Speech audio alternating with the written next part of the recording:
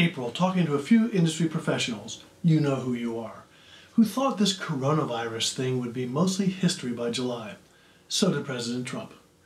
The problem is, hope is never a good business plan. I took the unpopular opinion back then that it was going to be a long, tough slog for the industry. I wish I had been wrong.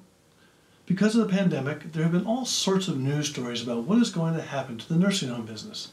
No one can predict the future, not even me. The reality is, however, that the number of beds will probably continue to decrease while demand may increase, depending upon what happens to attitudes and funding. It is all about the funding. One article was called The American Nursing Home is a Design Failure. Perhaps, but back in the day, they were designed for efficiency and to minimize costs. The author sang the praises of the Green House Project homes. You know, the cluster of homey buildings with 10 to 12 private rooms, their own kitchens and dining area, helping to cook, singing kumbaya. The problem is that when I see pictures or videos of these communities, nice as they are, for the most part, the residents look like they should be in assisted living, not in skilled nursing.